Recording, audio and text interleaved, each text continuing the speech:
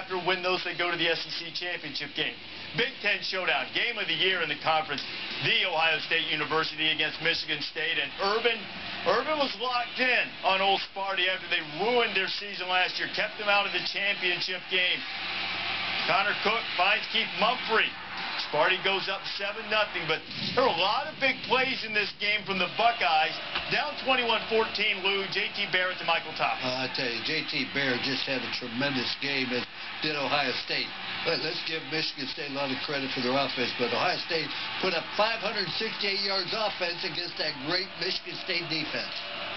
Barrett Look at his catch from Devin Smith made it. Oh, ah, terrific pass protection. Look at all the time he had. Put the ball perfectly. Smith comes down with the reception for the touchdown. 28-21. He had even a couple of catches that were even better than that one. 28-24, still tied Ezekiel Elliott. Gives the Buckeyes a two-possession lead, and now they've stretched it out to 42-24. Cook trying to rally. Sparty, Josiah Price, 11-point game, but Ohio State continue to have an answer. It's J.T. Barrett. Braxton, who? I'm kidding, I'm kidding. This young man's a freshman. He's just doing a tremendous job. Ohio State has vastly improved since the beginning of the year. 386 yards of total offense, five touchdowns. I think J.T. Barrett wants himself a helmet sticker. Of course, Ezekiel Elliott put himself into play for one, too. 49-37. Buckeyes roll. Uh, great environment against an excellent football team, and that was, uh, I made comments before about when you get two teams that control line of scrimmage like that, two sledgehammers. So I want to say, I give credit to Michigan State, but I got to play their tails off tonight.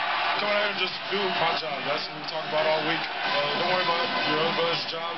Uh, make sure you have the trust in them that they're going to do their job, and I just got to do mine. We've been going at this for a long time, uh, preparing for Michigan State. Uh, so I mean, it's been since like the spring, so just preparation and having the confidence to come out and play. Now here's what the Buckeyes have remaining.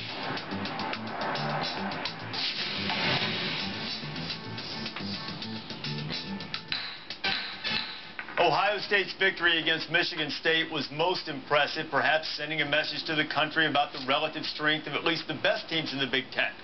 Still, Counselor May says even if the Buckeyes run the table, finish the season with one loss, there is no spot for them in the college football playoff. Yeah, Sharon, if you look at Ohio State's victory, we thought Michigan State was a good football team with their one loss going to Oregon, but we found out that it doesn't matter because they still lost to a Pac-12 team. And in the Pac-12, if Arizona State with a big victory over Notre Dame and Oregon end up with one loss playing the Pac-12 championship, there'll be a team from the Pac-12 with one loss. Big 12 conference, TCU, Baylor, at least one of those teams will end up with one loss, maybe two. Alabama's big win at LSU. They beat Mississippi State. There'll probably be two teams from the SEC with one loss. Florida State from the ACC. They'll end up undefeated. So you're looking at teams from other conferences, or Power 5 conferences, that will have better records or at least equal records with playing tougher schedules. And the Big Ten Conference is probably the second weakest conference. And I've got two words left to tell you. Virginia Tech. From the weakest of the Hey, Five conferences. It's quite an albatross, Counselor Holtz. Oh, I, I tell you what, but he is so anti-Ohio State, he has been forever. So let me That's irrelevant. Okay. Strike from the Well, record. What we're looking at, we're looking at who's the best football team at the present time going in that has a pretty comparable record. Braxton Miller was a great quarterback. He's injured. In comes J.T. Barrett, a freshman. You saw him practice. You said you don't think he can throw well enough. But Urban Meyer's taken this football team since the second game, and he's developed it where they have 568 yards against what he said was one of the great defenses in the country. And I want to tell you, right now, Ohio State is playing as well as anybody in the country. You talk about conference, anything else, they did. and Earlier in the year, yeah. Right now, they are definitely one of the four best teams in the country. But Body Yeah. of work, strength of schedule. It's not just here. Okay. It's the entirety of Wait, look, the this, season that this is look an easy at. decision. I want to know what case you're bringing before this court.